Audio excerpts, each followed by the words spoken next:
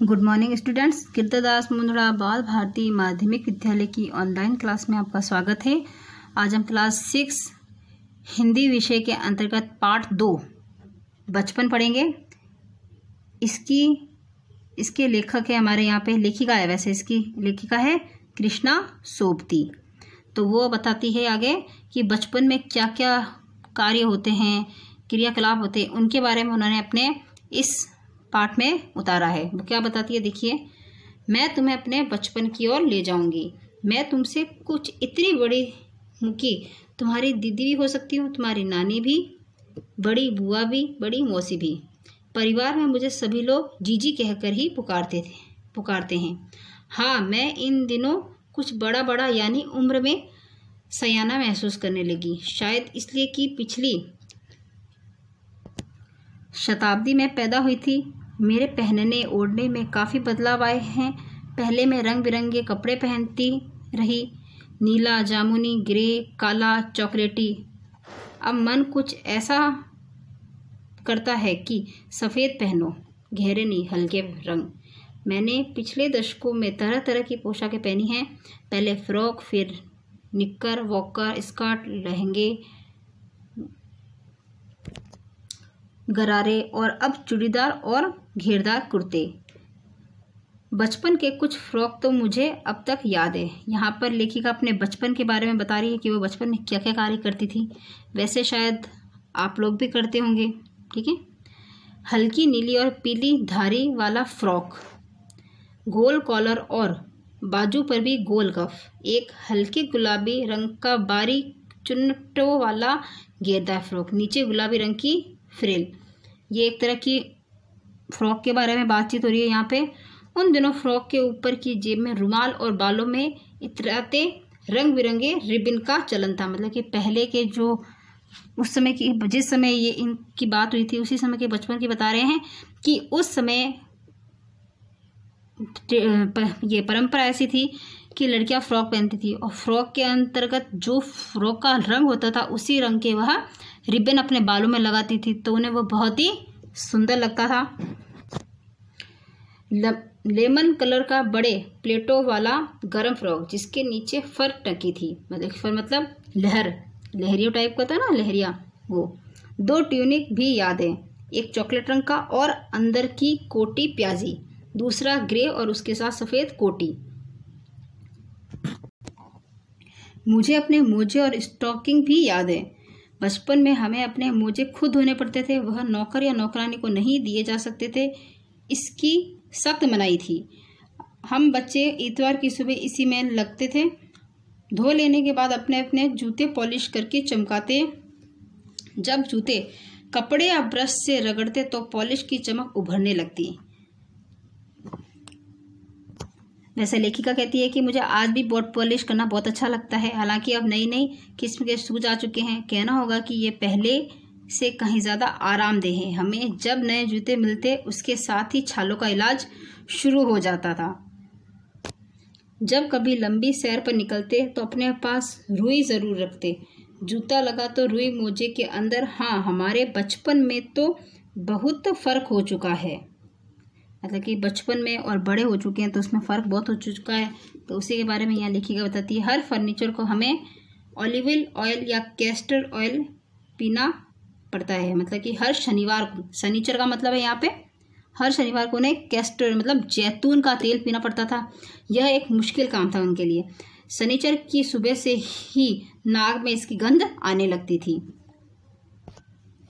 छोटे शीशे के गिलास जिन पर ठीक खुराक के लिए निशान पड़ रहते हैं, उन्हें देखते ही मितली होने लगती थी। मितली मतलब उल्टी होने लगती थी। मुझे आज भी लगता है कि अगर हम न पी पीते तो वह शनिवारी दवा तो कुछ ज़्यादा बिगड़ने वाला नहीं था। सेहत ठीक ही रहती। मतलब कि कैस्टर ऑयल पहने से कहते हैं कि इंसान की सेहत बहुत अच्छी रहती है। इसलिए बचपन में लेखिका को ये सब पीना पड़ता था। तुम्हें बताऊँगी कि हमारे समय, तुम्हारे समय में कितनी दूरी हो चुकी है। यहाँ तक कि बचपन की दिलचस्पियाँ भी बंद बदल गई है। याद रहे, उन दिनों कुछ घरों में ग्रामोफोन थे, रेडियो, टेलीविज़न नहीं थे। पहले घरों में रेडियो, टेलीविज़न नहीं होते थे, ग्रामोफोन होते थे, जिसमें से जो भी हमें सुनना होता था, आकाशवाणी या विविध भारती सुना होता तो वो ग्रामोफोन के ज़रिए ही सुना जाता था। हमारे बचपन की कुल्फ़ी आइसक्रीम हो गई है। मतलब कि पहले जिसको कुल्फ़ी बोलते थे, वो हम आइसक्रीम बोलते हैं। कचौड़ी समोसा पेटीज़ में बदल गया है। शहतूत और फालसे और खसखस के शरबत, कोक और पेप्सी में। मतलब कि जो हम घर में जूस निकाल के पीते थे, अब उनकी जगह हम क्या कहते हैं? कोक और पेप्सी पीते हैं। उन दिनों कोक नहीं, लेम, लेमनेंट और विमटो मिलती थी। मतलब कि उस समय जो कोक थी, उनके ये नाम हैं। शिमला और नई दिल्ली में बड़े हुए बच्चों को वेगर्स और डेविको रेस्तरा रेस्तरा की चॉकलेट और पेस्ट्री मज़ा देने वाली होती थी। हम भाई बहनों की ड्यूटी लगती शिमला मॉल से ब्राउन ब्रेड लाने के लिए। मतलब कि उनके जो बहन भाई थे, उनकी यही ड्यूटी थी, होती थी कि वह शिमला के मॉल से ब्राउन ब्रेड लाने जाए। लेखिका कहती है कि हमारा घर मॉल से ज़्यादा दूर नहीं था। एक छोटी सी चढ़ाई और गिरजा मैदान पहुँच जाते। वहाँ से एक उतराई उतरते और मॉल पर कन्फेंशरी काउंटर पर तरह तरह की पेस्ट्री और चॉकलेट की खुशबू मन भावनी होती थी। हमें हफ़्ते में एक बार चॉकलेट खरीदने की छूट थी। हफ़्ते में एक बार, लेकिन आजकल के बच्चे तो हर एक दो दिन एक दो दिन क्या रोज़ ही ज़्यादातर चॉकलेट खाते हैं। सबसे ज़्यादा मेरे पास ही चॉकलेट टॉफ़ी का स्टॉक रहता था। मैं चॉकलेट लेकर खड़े खड़े कभी ना खाती। घर लौट कर साइड बोर्ड पर रख देती मतलब कि जो साइड में कबड़ होता था उस पर रख देती और रात के खाने के बाद बिस्तर में लेटकर मज़े ले लेके खाती थी। शिमला के काफल भी बहुत याद आते हैं, खट्टे मीठे, कुछ एकदम लाल, कुछ गुलाबी। रस भरी कसमल सोचकर ही मुँह में पानी भर आए। ये एक तरह का खट्टी मीठी टॉफ़ी टाइप का ये काफल, ठीक है? चेस्ट नट एक, और गजब की चीज़। आग पर भुने जाते और फिर छिलके उतार कर मुँह में। ये ये चेस्टनट एक तरह की मूंगफली है। ये मूंगफली है जो आग में भूनकर और फिर छिलके उतार कर मुँह में खाते थे। चने ज़ोर गरम और अनार देने का चूर्ण। हाँ चने ज़ोर गरम की पुड़िया जो तब थी अब वह अब भी नज़र आती है। पुराने कागजों से बनाई हुई इस पुड़िया में नीरा हाथ का कमाल है। नीचे से तिरछी लपेटते हुए ऊपर से इतनी चौड़ी की आस, चने आसानी से हथेली पर पहुँच जाए। एक वक्त था जब फ़िल्म का गाना चना ज़ोर गरम, बाबू में लाया मज़ेदार। चना ज़ोर गरम उन दिनों स्कूल के हर बच्चे को आता था। जब लेखिका अपने स्कूल जाती थी तो ये गाना उनके मुँह पे रहता था और वो बहुत ही मज़े से चने को खाती भी थी और स्कूल जाती थी और ये गाना गाती थी। कुछ बच्चे पुड़िया पर तेज़ मसाला बुरकवाते थे। मतलब कि जो चना ज़ोर गर्म था, उसके ऊपर क्या है? तेज़ मसाला डालते थे। पूरा गिरजा मैदान घूमने तक वह पुड़िया चलती रहती है और एक एक चना पापड़ी मुँह में डालने और कदम उठाने में एक खास ही लय रफ्तार थी। छुटकपन में हमने शिमला रेंज पर बहुत मज़े लिए थे। घोड़ों की सवारी की है। शिमला के हर बच्चे को कभी ना कभी यह मौका मिल ही जाता था। ये हमारी जो लेखिका है, ये शिमला की रहने वाली थी। उन्होंने अपने बचपन में कई काम किए थे, जिनके बारे में उन्होंने अभी बताया है कि उन्हें अपने बचपन में क्या क्या करना पड़ता था। हम जाने क्यों घोड़ों को कुछ कमतर करके समझते? क्योंकि वह घोड़ों पे बैठते थे, वहाँ पे उन पर हँसते थे। ननिहाल के घोड़े खूब हष्ट और खूबसूरत। उनकी बात तो फिर कभी शाम को रंग बिरंग के गुब्बारे, सामने जाखू का पहाड़, ऊँचा चर्च चर्च की घंटियाँ बजती तो दूर दूर तक उसकी आवाज़ गूंज गूंज जाती थी और फैल जाती थी। लगता था कि इसका संग, इसके संगीत में प्रभु यीशु यीशु कौन होते हैं? चर्च के अंतर्गत प्रभु यीशु होते हैं। ईशा मसीह से संबंधित है ये। यीशु स्वयं कुछ कहा कर, कह रहे हैं। सामने आकाश पर सूर्यास्त हो रहा है गुलाबी सुनहरी धारियाँ नीले आसमान पर फैल रही है। दूर दूर फैले पहाड़ों के मुखड़े गहराने लगे और देखते देखते बतिया टिमटिमाने लगी। रिज पर की रौनक और माल की दुकानों की चमक के भी क्या कहने थे। स्कैंडल हिल पॉइंट की भीड़ में उभरता कोलाहल मतलब कि स्कैंडल हिल एक ऐसा हिल था जहाँ पर बहुत सारी भीड़ उमड़ती थी। देखने के लिए सनलाइट सर्वर स्कैंडल पॉइंट के ठीक सामने उन दोनों एक दुकान हुआ करती थी, जिनके शोरूम में शिमला कालका ट्रेन का मॉडल बना हुआ था। इसकी पटरियाँ उस पर खड़ी छोटे छोटे डिब्बों वाली ट्रेन एक और लाल टीन की छत वाला स्टेशन और सामने सिग्नल देता खंबा थोड़ी थोड़ी दूर पर बनी सुरंगे। वहाँ पे थोड़ी थोड़ी दूरों पर सुरंगें बनी हुई है, शिमला में। पिछली सदी में तेज रफ्तार वाली गाड़ी वही थी। कभी कभी हवाई जहाज़ भी देखने को मिलते। दिल्ली में जब भी उनकी आवाज़ आती, बच्चे उन्हें देखने बाहर दौड़ते दौड़ते और दिखता ये एक भारी भरकम पक्षी उड़ा जा रहा था। ऐसा लगता था उनको जैसे एरोप्लेन भारी भरकम पक्षी हो। पंख फैलाकर यह देखो, वह गायब। उसकी स्पीड ही इतनी तेज लगती की, लगती। हाँ गाड़ी के मॉडल वाली दुकान के साथ एक और ऐसी दुकान थी जो मुझे कभी नहीं भूलती। यह वह दुकान थी जहाँ मेरा पहला चश्मा बना था। वहाँ आँखों के डॉक्टर अंग्रेज़ थे।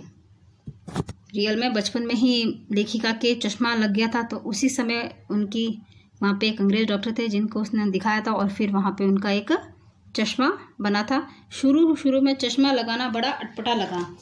छोटे मोट बड़े मेरे चेहरे की ओर देखते और कहते, आँखों में कुछ तकलीफ़ है? इस उम्र में एनक दूध पिया करो, मैं डॉक्टर साहब का कहा दोहरा देती। कुछ देर पहनोगी तो एनक उतर जाएगी, उतर जाएगा। तो वो डॉक्टर कहता था कि उन्हें, कि अगर आप कुछ देर पहनोगी तो ये आपका चश्मा उतर जाएगा। लोग उन्हें चिढ़ाते थे इसके लिए। वैसे डॉक्टर साहब ने पूरा आश्वासन दिया कि लेकिन चश्मा तो अब तक नहीं उतरा। मतलब कि वो बड़ी हो चुकी है। उन्होंने पढ़ाई लिखाई सब कुछ कर लिया, एक लेखिका बन चुकी है। तो अब तक उनका चश्मा भी नहीं उतरा है। नंबर बस का ही होता रहा। मैं अपने आप इसकी जिम्मेदार हूँ। जब आप दिन की रोशनी को छोड़कर रात में टेबल लैंप के सामने काम करेंगी तो इसके अलावा और क्या होगा?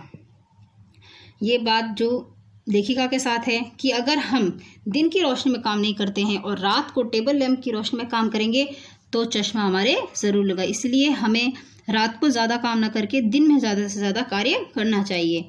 जब पहली बार मैंने चश्मा लगाया तो मेरे एक चचेरे भाई ने मुझे छेड़ा। देखो देखो, कैसी लग रही है?